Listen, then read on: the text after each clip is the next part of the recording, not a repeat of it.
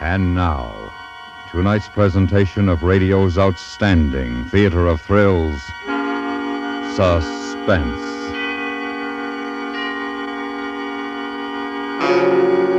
Tonight, we bring you the true story of five polar explorers and their race against death. We call it The Diary of Captain Scott. So now, starring Ben Wright, here is tonight's suspense play, The Diary of Captain Scott.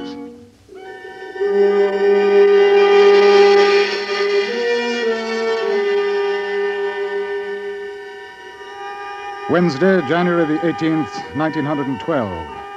Camp 69. Temperature minus 22 degrees. AM, the South Pole.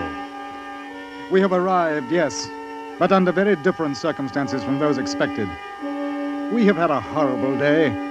Elation ran high all morning since we were nearing our goal and thought to be the first five men to reach the pole.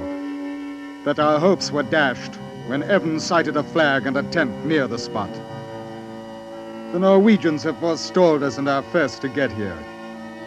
In the empty tent, under the name of their leader, Roald Amundsen, were listed the five men who are with him. It's a terrible disappointment, and I'm very sorry for my loyal companions. Ah, there's no doubt of it now. They did find an easier way up over the barrier. We thought as much back at Cape Armitage. Well, it's a rotten shame, men, and I'm sorry. Good Lord, Captain Scott, you've done everything you could. Well, there's more to do. More for all of us. 800 miles, as a matter of fact. Are you ready to start back, Evans? No, I can't think of a reason to stay in this miserable place. Is the sledge ready, Oates? A bit frozen in, I suppose. Yes, I imagine. Wilson, do you vote to start? Oh, the faster the better, Captain. Well, Bowers, can you get a sight and start us off on course? Well, the sky's a bit overcast, but I think so. Yes, uh, I think I can. We'll go then as quickly as we can. A minute saved here will mean a minute more of comfort aboard the ship.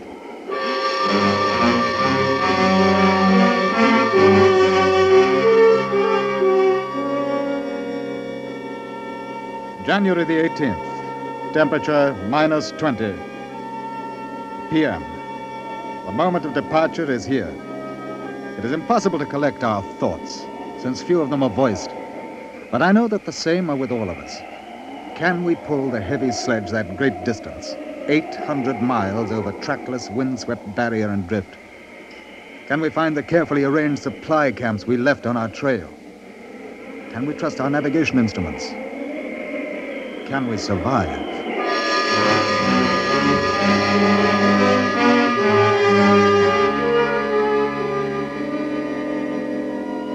January the 20th, night camp. Temperature minus 25.6. Came along well this afternoon for three hours, but then a rather dreary finish for the last hour and a half. The weather very curious. Snow clouds looking very dense and spoiling the light pass overhead from the south, dropping very minute crystals which absolutely spoil the surface. We had extremely heavy dragging and were forced to stop when Wilson suddenly discovered that Evans' nose was frostbitten. There's no doubt that Evans is a good deal run down. His face and hands are badly blistered. Oates, too. Now Bowers comes into the tent to report his last sighting. I can't get an accurate one with this sky. I, I don't like it. I don't like it either. What do you think it means? The weather's breaking up? I don't know, Oates. How accurate was your sight, Bowers? I can't be sure. I should say that if we aren't on our line of march, that we're very close. A few points could be quite important. I know, but our next camp is no more than seven miles. Well, that simply means that we're seven miles off schedule. I'd planned to be there tonight. I can go on, Captain. I feel better now. No, Evans, no. We'll stay the night and get up early in the morning. But we must have fewer delays.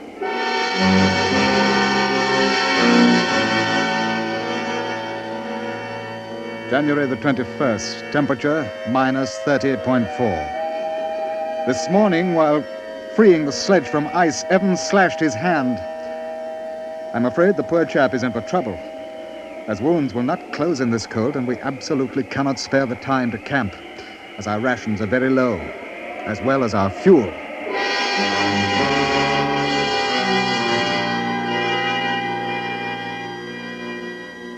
January 28th, night camp.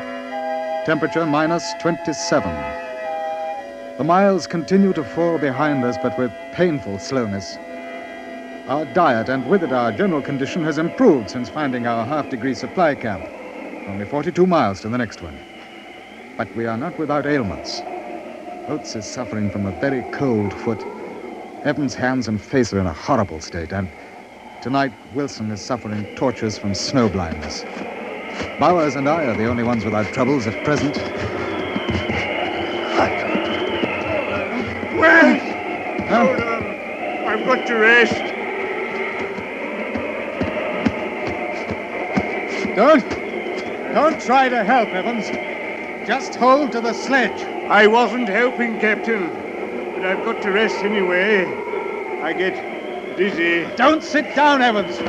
Stay up on your feet. Can't we put him in a sleeping bag? Put him on the sledge? No, I won't do that. We can pull him. I won't do it. If it's for the good of the rest of us, Evans, No, I'll stay here first. then if it's an order, No, not that kind of an order.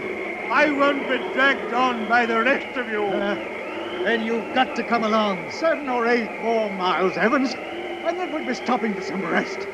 And a hot meal. I'm not thinking of those miles. How many more seven miles are there? Let's cover these. How before- many more? Evans! Uh, I'll do the best I can. I'm sure of it, Evans. Everything will be all right. Yes, sir. All right. Now, there'll be hot food in a few more hours. Let's move on.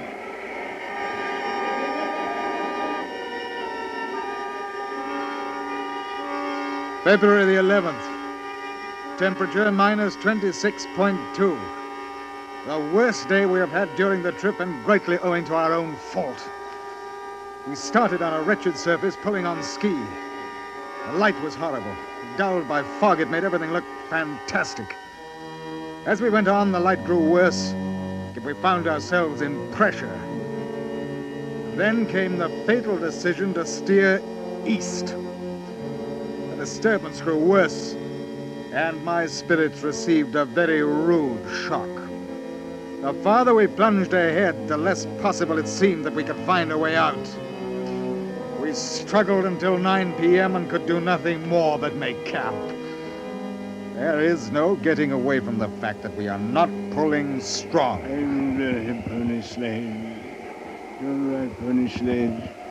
Children, dog Your sled, eyes, Wilson, how are they? inside. Better? Dog sled, I- I think. pony All right, let me see.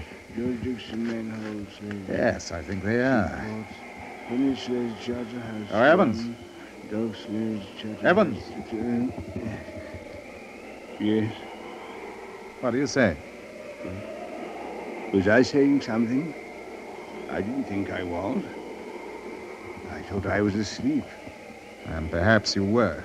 Know what you were saying, Evans? You were naming the schools that donated sledges for the expedition. Oh, I thought I was asleep. I must have been dreaming about home. I like it better there than I do here. I mean, I like dreaming about it. I like it asleep. You'll get as much rest as you can, Evans. We'll want an early start. Uh, you Oates, how's your foot? It's better, Captain. Bothers a bit in the morning, but then it gets better. Good. How do you make it so well, Captain? Why, because I know that everything is going to be all right. You're just cheering us up. Do you really think so? No, of course I think so. You know as well as I what splendid planning we've had. Everything's going precisely as it should, with a line of supply camps right back to the ship. All we've got to do is to follow it.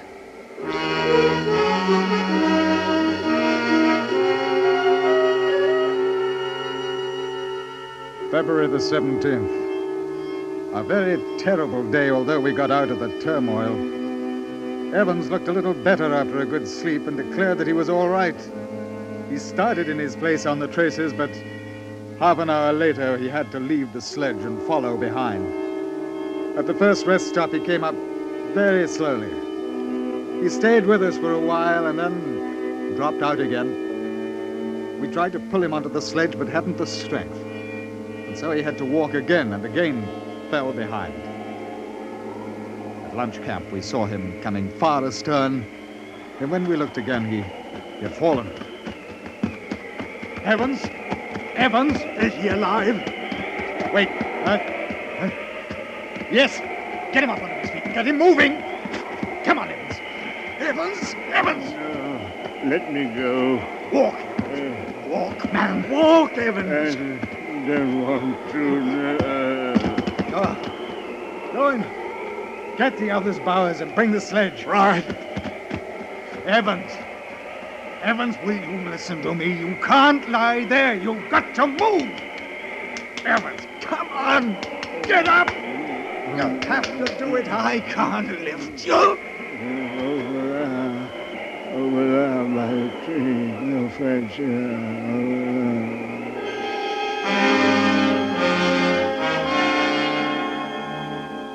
there. Got him into the tent. He was quite comatose. And he died quietly at 12.30 p.m. It is a terrible thing to lose a companion that way. His passing is a frightfully personal thing to each of us. As is usual, our doubts and fears are not voiced. But I don't think that one of us does not wonder how many of the remaining four can survive?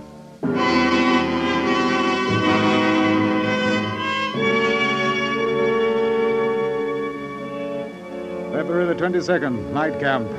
Temperature minus 22.9. There is little doubt that we're in for a rotten, critical time going home, and the lateness of the season may make it really serious. We never won a march of eight and a half miles with greater difficulty than we did today. We have come now a bit more than half the distance, which leaves almost 400 distressing miles of dragging still before us. On the bright side, we found another supply camp and have 10 full days of provisions and have less than 70 miles to the next camp.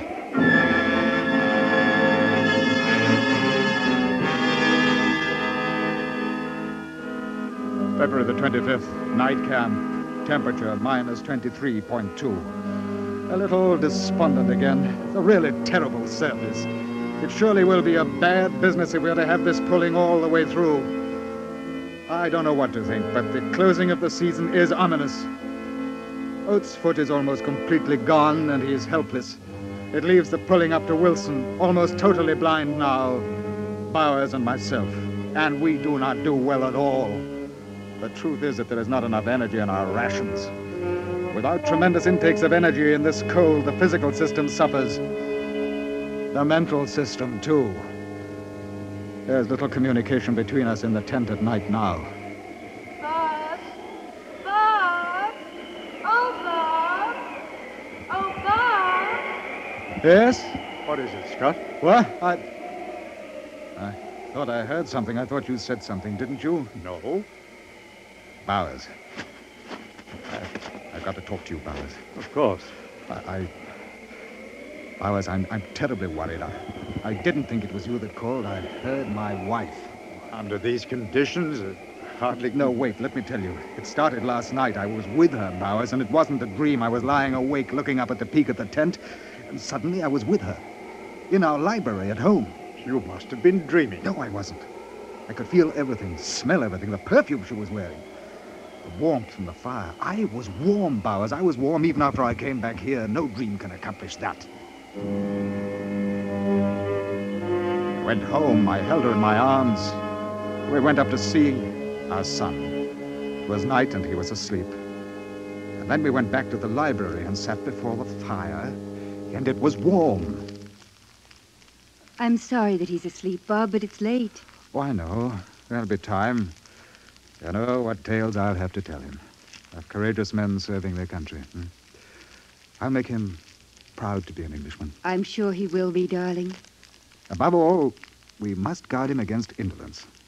We must make him a strenuous man, interest him in natural history. That's better than games. He'll be a good man. And you, Kate. Oh, if I, if I could tell you of the millions of thoughts I've had of you. I was with you, I think. I worried so. I knew you must have been suffering. Well, there was some. There's bound to be when a fetus is as great as ours. The years of planning. 800 miles we marched to the pole, and 800 back. But what wealth we brought to the scientists, and, and what honor we brought to England. You're home, darling. And that's more important than science and honor. You're home and you won't ever go away again. No. No, I've served my term of duty, I think. I shall collect and arrange my notes. Perhaps I shall write a book and describe the bottom of the world and living there. But never go back. It drifts snow like finest flour flickering up under one's clothing and stinging as a sandblast. The great cloudy columns of snowdrift advancing from the south and heralding the storm. But never go back. No, I like it here.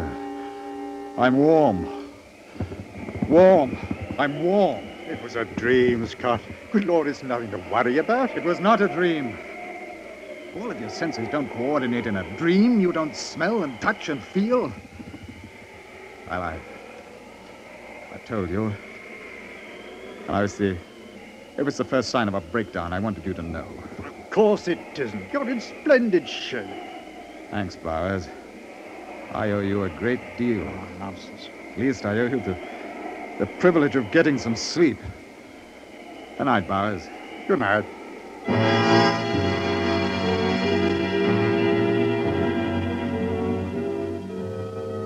March the 1st, lunch. Very cold last night, minimum minus 41.5. But our fortunes have changed. At least the future looks brighter.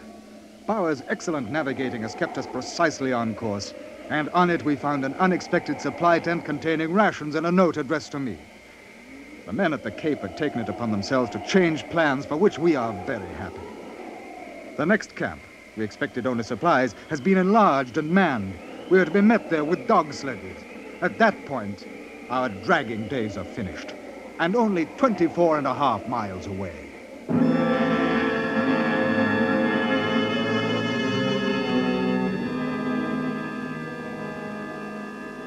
March the 2nd, night camp.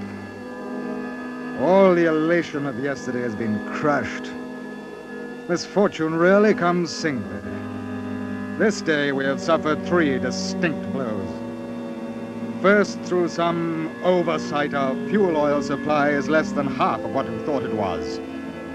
Second, Titus Oates disclosed his feet. They show very bad indeed. They'll never be saved. Lastly, the weather has turned on us. Blizzard conditions are extreme. We are in a very tight place indeed. But none of us is despondent, or at least none shows it.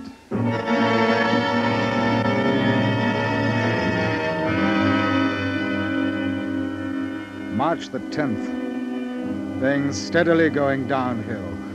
Midday. Minus 43. Blizzard still with us.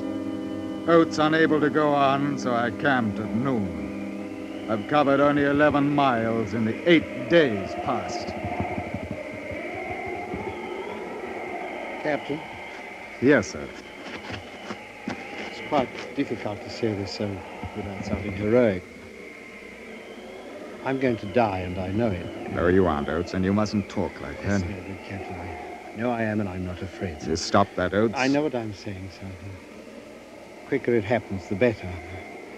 I'm not going to hold you, the rest of you back. I know how I felt about poor Evans. He was holding us back, and I knew he was going to die. I was angry with him for keeping on as long as he did. Oates! What kind of talk is that, It's Oates? the truth, and I don't care. When he was holding us back, I knew there was no chance for him. I wanted him to die. I don't know what the rest of you are thinking, but that's what I was. Now I'm holding you back, and I won't have it. I want you to leave me. We'll not leave you, Oates. No, please, Captain, I'm not afraid. I, I'd really like to go, sir. I'm tired and it hurts so. I, I'd like to go to sleep and not wake up. I've no family to live like the rest of you have. We won't leave you, Oates. You'll know that. But please, Captain, what if I did get through? There isn't a chance, but what if I did? I, I'd have my feet cut off. I'd rather die than have that done.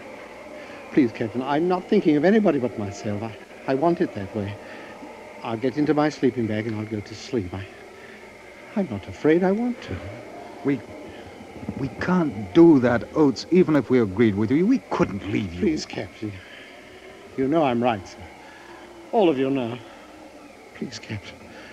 Please, sir.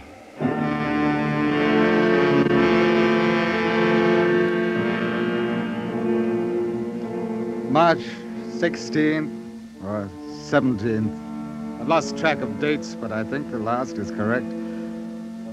Poor Titus Oates is gone. Should this journal be found, I want these facts recorded. This was his end. He woke in the morning yesterday. It was blowing a blizzard. He said I'm just going outside. Shan't be long. he went out into the blizzard. And we have not seen him since.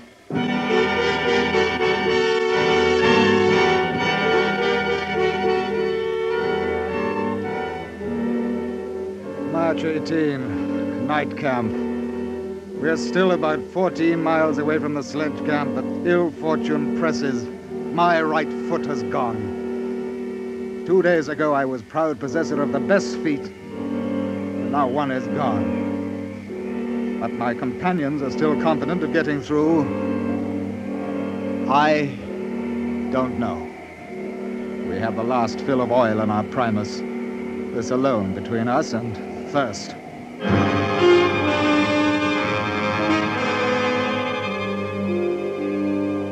March the 21st. Got within 11 miles of Dog Sledge Camp yesterday, but blizzard forced us to lie up. We cannot move against it. We do not dare to leave the tent. We would surely die if we did. If conditions do not. Bob? Oh, Bob? Bob? Here I am, Bob. Here I am. Here I am, Bob, over here. Oh, I didn't see you. It's so nice in the sun, I thought I'd sit out for a bit.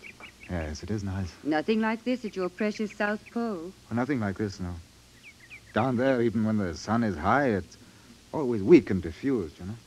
And uh, because of the reflection from the ice from every side, there, there never is a definite shadow. It's always a, a number of shadows on any man or subject. I would say that your South Pole would drive anyone to insanity. Well, I think it has. And then, when it's low, the sun, there's a never ending twilight that holds today and yesterday together for months instead of moments. I remember when we reached the pole, the endless white deserts undulating, but offering nothing to stop the frigid winds that sweep endlessly on. I think you love it. No, I hate it. Because five men marched to the pole and they say they've conquered it. But they haven't. It will conquer them. You'll never go back, will you? No. I didn't want you to go, remember? I was afraid that you wouldn't come back. Do you remember when I said that? Oh, yes, yes, I remember. I laughed at you, didn't I? I was such a coward. I laughed and told you that I'd conquer it just for you. That I'd name a glacier for you. And I asked you how a woman should act when a glacier is named after her. Well, I didn't name a glacier for you, but I. I thought of you, Kate. I thought and dreamed of you so often. It's important that you know that. Scott! Kate, I love you. And at this sacrifice. Scott! Hmm, What? Oh, yeah, yes. Bowers. Wilson. Dead. Oh. Wilson. Oh. Wilson is dead.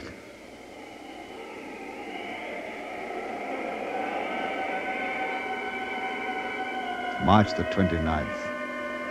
Since the 21st, Bowers and I, surviving Wilson, have had a continuous gale and blizzard from west southwest and southwest. We had fuel to make two cups of tea apiece and bare food for two days on the 20th. Every day we've been ready to start for the dog sledge camp 11 miles away. But outside the door of the tent, it remains a scene of whirling drift. I do not think we can hope for any better things now. we shall stick it out to the end, but we are getting weaker, of course. And the end cannot be far. It seems a pity, but I do not think that I can write much more. This rough journal and our dead bodies must tell the story. In dying, we ask no more than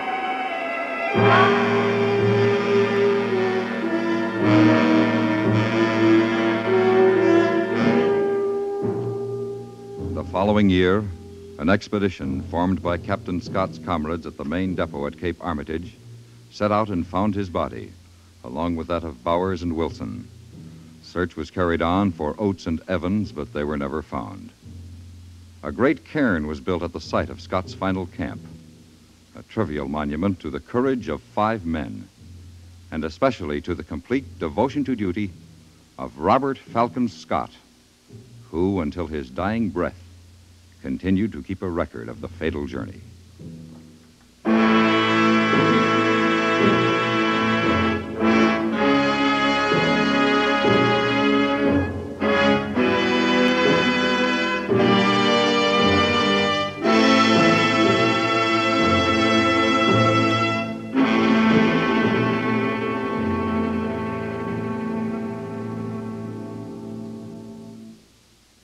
Suspense, in which Ben Wright starred in tonight's presentation of The Diary of Captain Scott. Next week, we bring you the story of three convicts on a road gang in Florida who planned the perfect escape through the Everglades. We call it Quiet Night. That's next week on Suspense.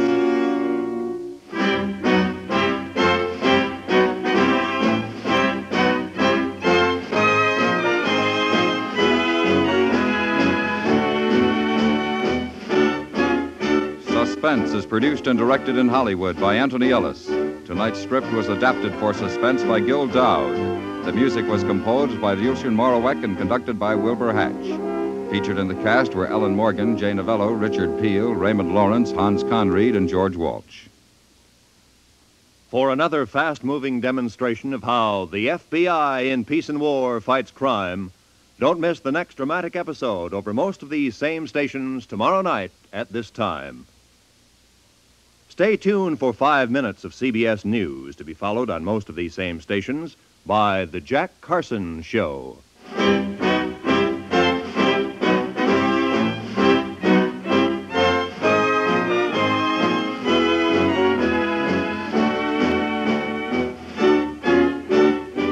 The Radio Workshop presents the new and unusual Friday nights on the CBS Radio Network.